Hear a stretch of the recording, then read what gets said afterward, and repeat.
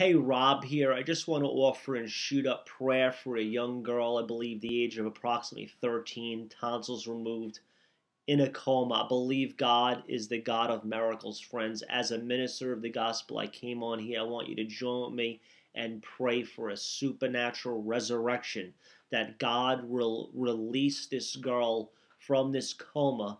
Uh, that heaven will invade her life, the power and presence of the Holy Spirit will wake her up. So join me as we pray. Father, in the mighty name of Jesus, I loose angelic hosts around that young girl in that hospital bed. Lord, I believe you gave me the burden to do this video, and I believe you're going to answer my prayer and the prayer of thousands via YouTube. Father, we loose your presence, your power, your resurrection power, that same power that rose and raised Jesus Christ from the dead, from the grave.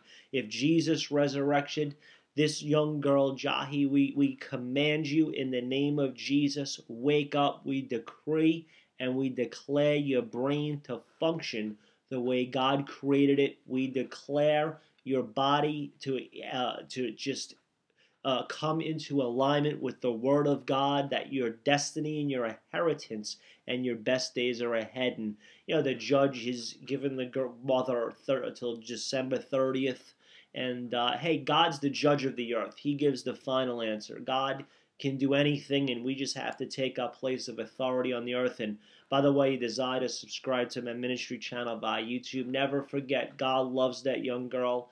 God loves that family. God loves you, friends. I'll leave you with the famous scripture in the Bible, John chapter 3, verse 16. For God so loved the world, he gave his only Son that if you would believe, receive, surrender, and submit your life to Jesus Christ, you would not perish. You'd have everlasting and eternal life. And God desires no one to perish. He wants us all to have the assurance that when we all do take our last breath, we can and we will make heaven our home. And desire to recite this simple prayer. Invite Christ into your heart. Say, Jesus, thank you for dying on the cross for my sins.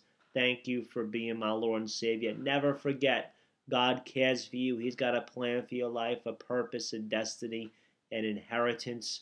Your best days are ahead. Whether we live to be 8 or 108, if you've got Christ in your heart, heaven is real. It's a place we'll spend eternity with God. The opposite, Jesus taught about a place called hell in the Bible. Is there fire there? Absolutely. Demons, devils, yes, you don't want to go there.